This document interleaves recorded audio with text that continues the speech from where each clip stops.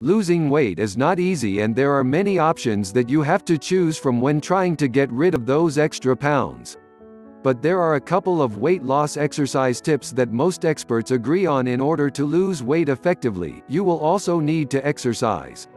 Among other benefits, exercise is extremely valuable when it comes to decreasing the plateau effect of dieting which usually sets in after a couple of weeks.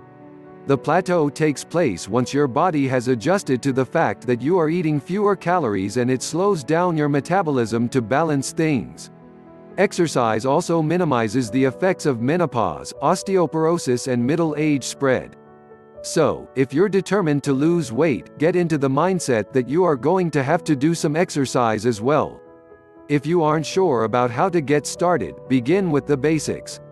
First, identify your fitness level. It's a good idea to check with your doctor before starting any kind of diet or fitness routine. He or she will give you valuable insight into what kind of exercises are suitable for you and which ones to avoid. Next, establish a weight loss schedule which starts out very, very small and then gradually increases. If you are not very fit, you can start out with 20 minutes of exercise three times per week, for example. This is just an example.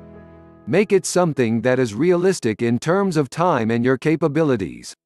One of the most overlooked weight loss exercise tips is having a support system or workout pal. If you already know that your willpower will be tested when it comes time to work out, try to get a friend involved that will keep both of you on schedule. You can also join some sort of exercise class just make sure that it is suitable for whatever fitness level you are at. Your fitness plan should include both cardio and strength training. Cardio training is anything that gets your heart rate up and includes brisk walking, swimming, biking, jogging, housework, aerobics classes or anything that gets you breathing hard.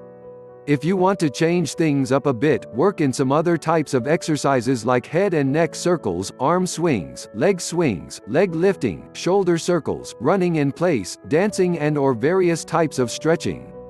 The most important concept of all is that you are striving towards a new, healthier lifestyle.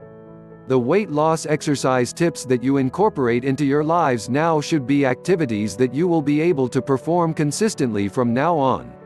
So, don't start out trying to kill yourself until you get to your goal weight, so that you can then kick back and stop exercising again. That won't work. Instead, put yourself in the right frame of mind for maintaining a healthy weight and body for life.